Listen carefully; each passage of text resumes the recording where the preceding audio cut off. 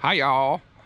I am at the Great Saltpeter Cave Reserve in Rockcastle County, Kentucky, and this is the only weekend a year that the cave is open for tours because they keep it closed to protect it and that kind of thing. I'll talk about that some more later. And I've got one of America's favorite hippies with me. so we're gonna go here and see what's going on. It'll be the first time I've been in this cave in years. So I'm really excited. It's prediction time. Who's going to fall down in the cave? Will it be Jocelyn, me, somebody else in our group, or nobody? Before we get in here, let me give you a little bit of the cave's history. And we'll start from today and work our way backwards. Today, the cave is managed and owned by the Rockcastle Karst Conservancy, and they are a nonprofit volunteer group that works to preserve the cave and take care of the artifacts inside. They open the cave one weekend a year in May, and tours are free. They have a big to do out here, but it's the only time of the year you can come see the cave. Before this group got a hold of the cave, it was uh, privately owned, but you can't say it was abandoned, but it wasn't open to the public. And for some years when I was growing up, this was known as a party spot. Now, from the early 1980s, working way backwards to the 1930s, the cave was a tourist attraction, and people would come in off the interstate or off the old Dixie Highway to come see the cave and learn about saltpeter production. It was also the site of several events hosted by the Renfro Valley Barn Dance and John Lair, and I had a video about that a few weeks back. I'll leave the link up top for you if you want to see that. And before it became a tourist attraction and a site for the barn dance, it was an industrial complex that produced saltpeter. After the American Revolution, the new country knew that it needed a source for gunpowder because all the gunpowder then came from Great Britain. Gunpowder can be made from saltpeter, which comes from bat poop in the dirt in the cave. And before it was an industrial complex producing saltpeter, it was just a cave in the woods that many settlers around here known about. It was first discovered by settlers in 1798, and of course, it was known by Native Americans before then.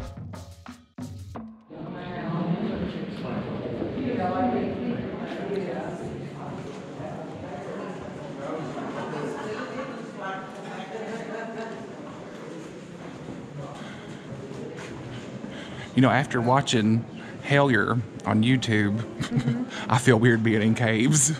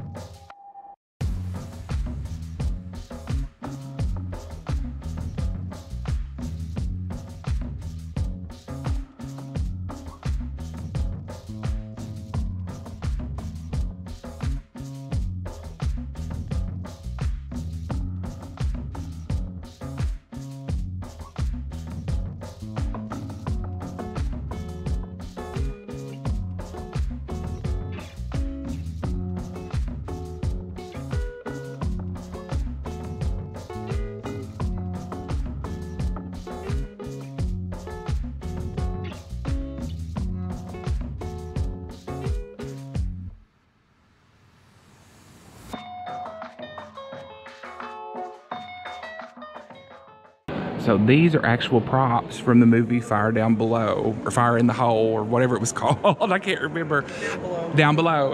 and um, if you take my Appalachian Pop quizzes on Sundays, that was one of the questions a couple of weeks ago, and he told us that these rocks are actually movie props. They're not real. It is very strange to think there is a whole mountain right there over our heads. a whole mountain up there where you see people taking selfies, that was the stage back when they used to have the Renfro Valley Barn Dance in here and other kinds of events. Now, back when I was a reporter, I got to have dinner in this room when our sister city's um, delegation from Japan came. They brought them down here and we ate prime rib right here in this room. That was a very interesting experience. And the delegation that came loved it. Now we're up on the stage where the Renfro Valley Barn Dance used to be.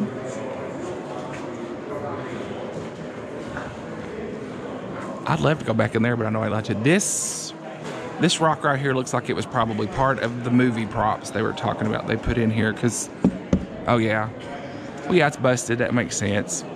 Just think, Steven Seagal could have sat right there on that rock. We're into the with the uh, saltpeter mining, so talk about that a little bit. Um, Saltpeter is uh, calcium nitrate, which is essentially that poop that it collects in the dirt.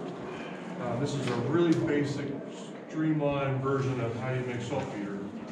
Um, Some of you probably know better than I. You collect a whole bunch of dirt that, uh, and then wash water through it. That water will pick up the, uh, the nitrate and wash out.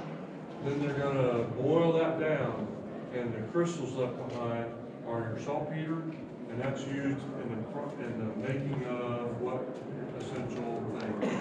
Gunpowder, that's right.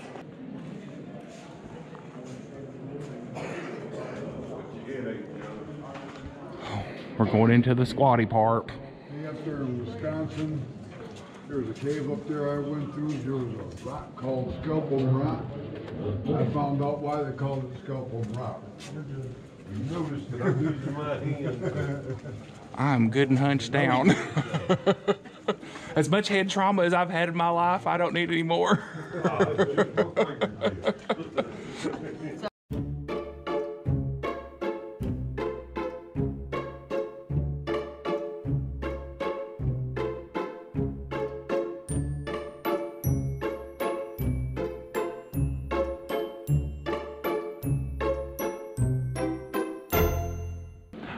Okay, I'm always talking about Appalachian engineering. This is water lines that were made out of trees to bring water into the cave to flush the saltpeter out of the dirt.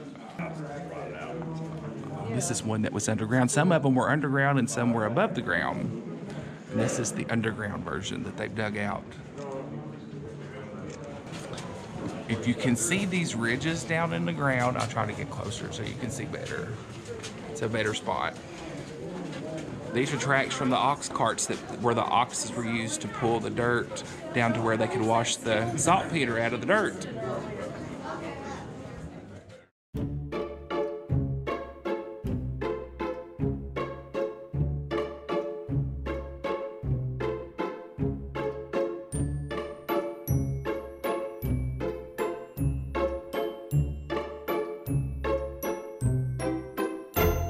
The wood laying there is original to the cave from back when they mined it. It's in, it's in a V.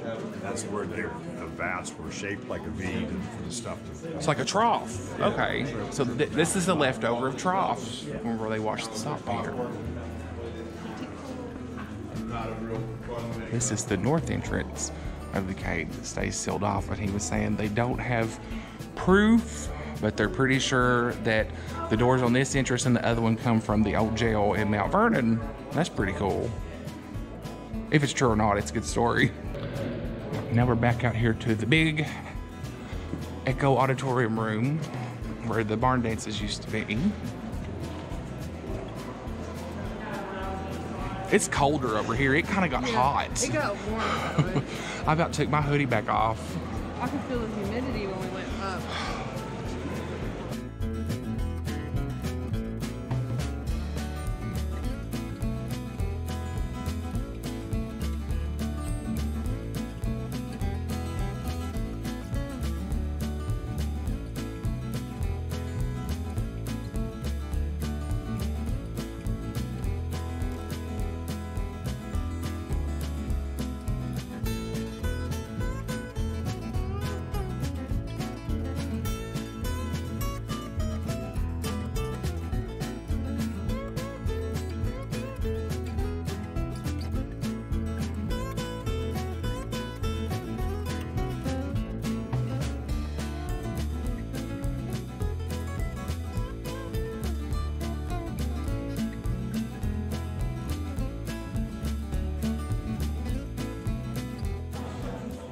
You know, you never know when you think about it. We could have had ancestors that worked in this stuff mm-hmm. that we've just never traced down. Yeah. You never know. Especially me. My Yeah. family come from a mountain or two over. Right.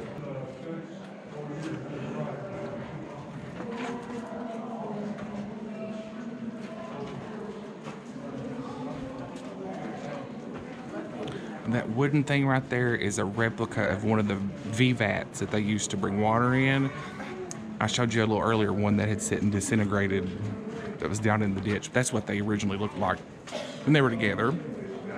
Those chairs sitting there have been here since they used to have the barn dances. Isn't that wild? Probably not sitting in that same spot, but that's what they're from.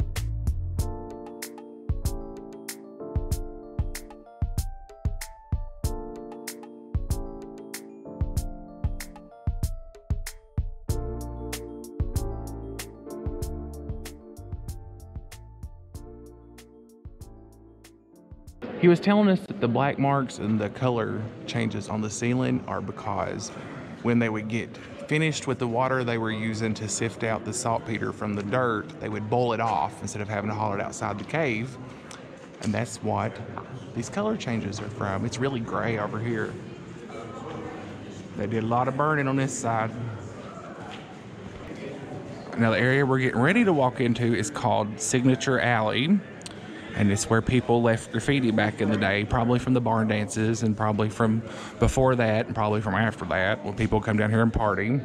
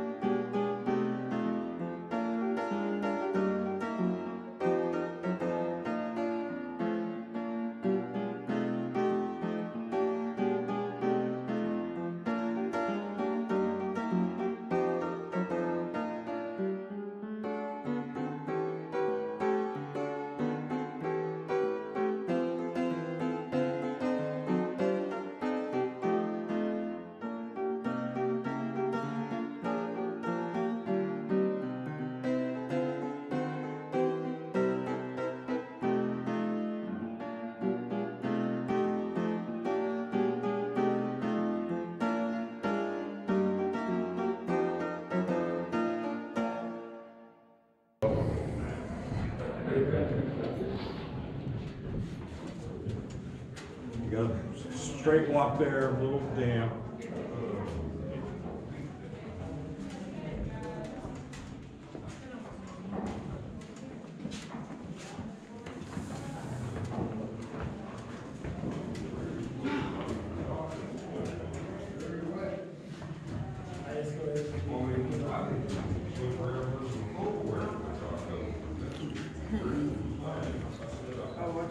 Sixty-five.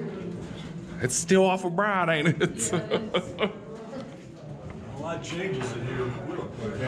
That's wild. Whoa. If you look up here, guys, Bit slick on the floors, take it you can easy. see little resident bat.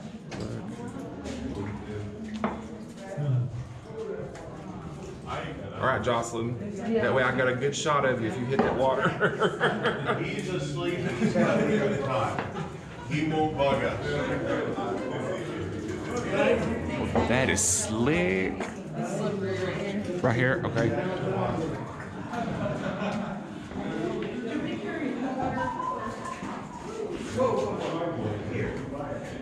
Okay, folks, We are coming into the part of the cave where it's gonna be very tight. And also, some of the rocks are very sharp. I do caution you. When I, when I. Are we squatting down in there? No. Oh. There's a little slot there. I'm gonna Might ask have you to to duck duck down a little bit. This is gonna be interesting. You guys will also be getting your cave baptism as you walk under this waterfall. Okay.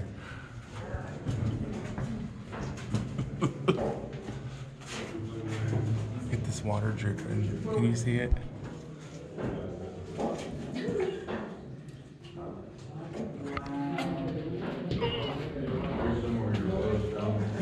I'm ducking more than I need to. There's room. Here we are, almost on all fours.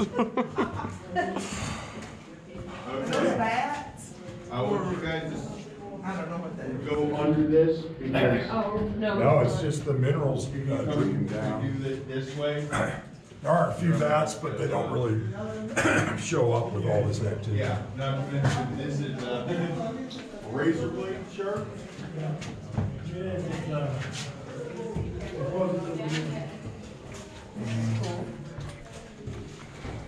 Then we got more flow stone.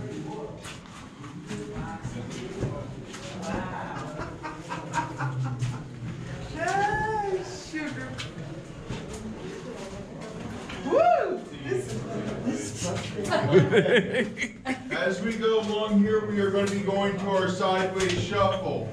And, and be careful down here, cause there's a rock that I just got tripped on. Okay. Oh, no, Dave.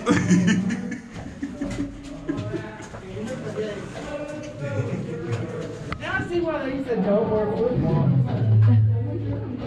this is interesting. Hang on, I need to move my sunglasses.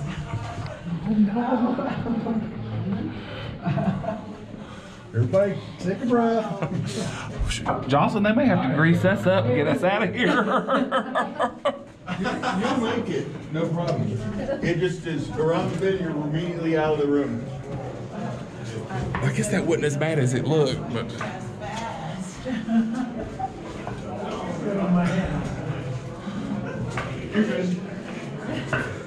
It's opening up right now. Right here. Thanks so much for coming. Thank you very much. There's, uh, soup beans and cornbread down the shelf, just stop by and take a break. thank you so much. And now we're out.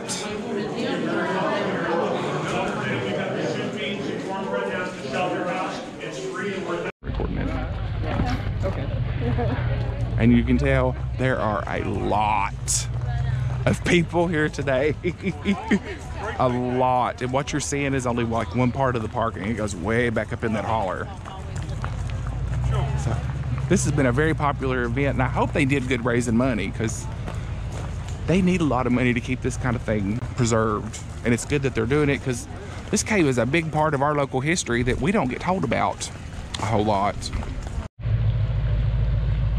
This is Crooked Creek, and the creek almost circles the cave, not entirely, but this is the same creek on the other side of the mountain that they would get their water to use to sift the saltpeter out of the rocks and the dirt and then boil it off in that one room that I showed you. I'd love to get in it. I want to get in it. I- so that's it from our tour of the Great Saltpeter Cave at the Great Saltpeter Cave Preserve in Rockcastle County. It's kind of between Livingston and Mount Vernon. I really couldn't begin to tell you what road it's on or anything like that, but I'll put all the important links and things down in the description. That way, if you want to come next year, you can. It's usually the second or third weekend in May, somewhere in there. I'd start watching earlier than that about spring if you're wanting to come, especially with this crowd. We probably should have come a little earlier because it's packed. It's packed. So, Jocelyn, this is your first time ever really knowing anything about this cave, ain't it? Yeah, it is. So, what'd you think? oh, it was amazing. It's Amazing. different. It's different. Um, but yeah, highly recommend next year. Anybody gets the chance to come out here should definitely come. Well, what I didn't mention was the Livingston Volunteer Fire Department is out here and they have free soup, beans, and cornbread. So this is a true Kentucky experience if you're coming through the area in May to get to do something like this. And one of the really cool things is up where they were selling souvenirs, they had these vintage stickers and they feel like they are probably from the 60s or 50s, just the plastic on them, and said that they only had a certain amount of them that they dug out. So I bought an extra and I'm going to give this away. If you're interested in winning it, leave a comment down in the description and I will do a random draw sometime in the next two weeks. I'll probably do another video just talking about this contest so you know exactly when I'm going to draw because I don't have it thought out at this point. It just came to me. so as always, I appreciate y'all watching. Like and subscribe if you want to. No pressure. And we'll talk to you next time. Adios, amigos. Hasta!